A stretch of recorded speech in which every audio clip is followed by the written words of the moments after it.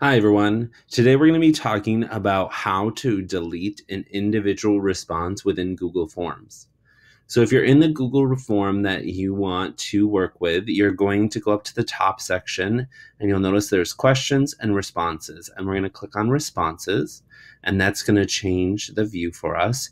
We're going to then go down to the left, and you'll notice there are two more options summary and individual. You're going to click on individual.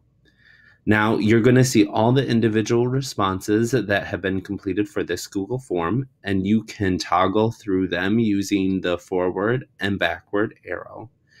Now, deleting a response or an individual response within Google Forms is a nice option if you had someone who took the form um, and didn't complete all the sections or messed up somewhere or maybe did it twice so, what you're going to do is you're going to find the form that was completed incorrectly.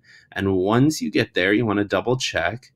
Um, and if that's the form you want to delete, then you're going to come up here to the trash can um, and it says delete responses. And so when you click that, it's going to give you this other screen and it's going to say, Are you sure you want to delete this response? This action cannot be undone. So make sure it's the correct one that you're going to delete. Um, and then you're going to click yes and it's going to take it away. So you'll notice now I only have two uh, forms left when originally I had three. I hope you enjoyed this short tutorial on how to delete individual responses within Google Forms.